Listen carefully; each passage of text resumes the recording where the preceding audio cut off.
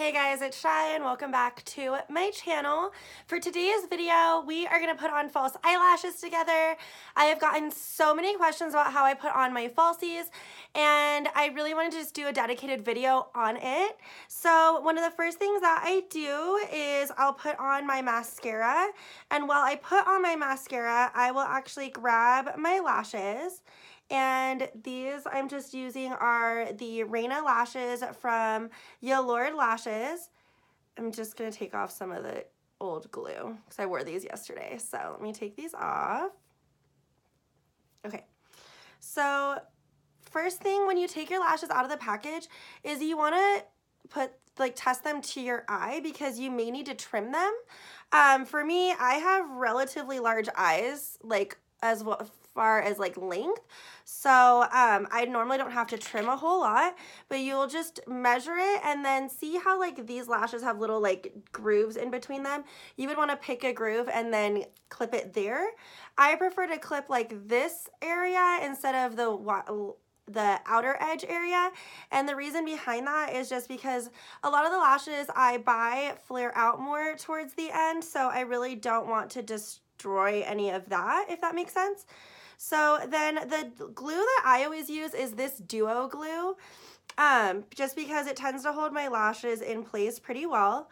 So I will paint on, and I will show you guys how much I paint on right now too. So you just paint it right onto the band and this is what I paint on. So right now it's like very like almost kind of bluish looking. So I will set those off to the side um, and let them get tacky. That's one of the key things is to really let the lashes get tacky. Now I'm going to take just a lash curler and curl my natural lashes just to make sure that they are up when I put the mascara on so that they can easily blend with the falsies.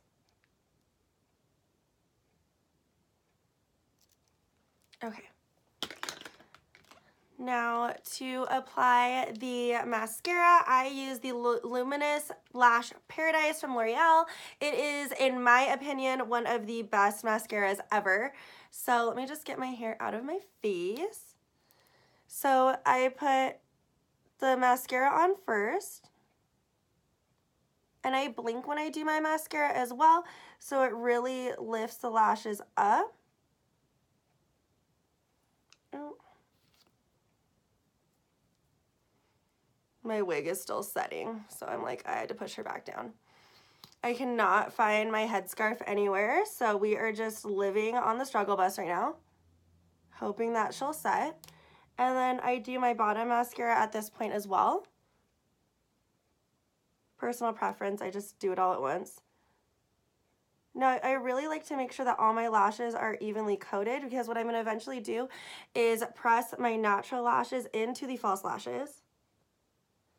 Now, if you're not used to putting lashes on, I suggest you grab a pair of tweezers. I'm just gonna use my nails. When I don't have my nails on though, I do use tweezers because it's really hard for me to just press it in with like my fingertips. So now you also want to make sure you go like this with your lashes.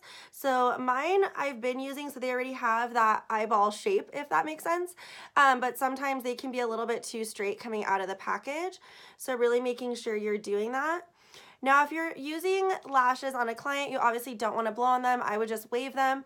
If you're doing them on yourself though, to help them get tacky faster, you can do a light blowing um, air on them and that'll help them get more tacky as well.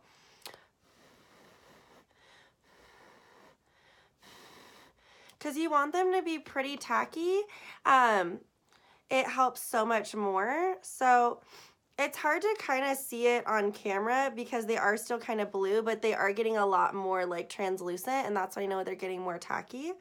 So what I do is I start from my inner corner and I go to my outer corner just because that helps me set where exactly I want them.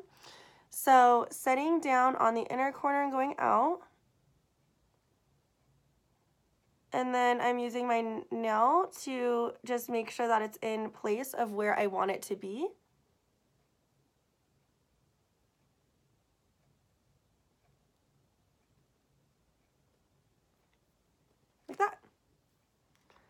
Now, once you have it set, I take my finger and I press on the top of the lashes to make sure that it's secured down.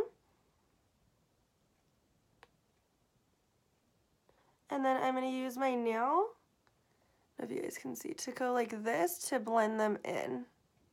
Now, if you have tweezers, you can like just take the tweezers and go on the lash line. Now, be super careful when you do that because you don't want to get your actual eyelid. That can be very um, painful. So just making sure you're going, taking your time like they're not going to set in place immediately. So you have that time. And then that's it. So then you have your lashes. Now, I sometimes certain lashes I'll go all the way in with them if I want to be more dramatic. Most of the time though, see how I leave a little bit of space there?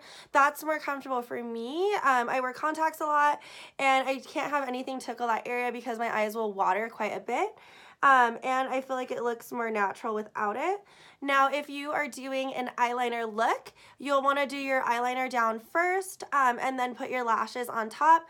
You can do liner after your lashes, but it's just not as successful because you can't really get in that space. Um, I don't tend to wear a lot of eyeliner because my eyes are pretty small this way. So I feel like eyeliner tends to make them look even smaller, which is the last thing I'm trying to do. So I just put my lashes down, but by pinching my natural lashes into my falsies, they look a lot more blended and I almost get the look of eyeliner right in through that spot. But anyways, guys, this is how I put on falsies.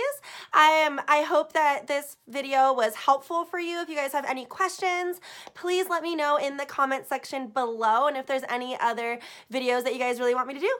But thank you guys so much for watching and we'll see you next time. Bye.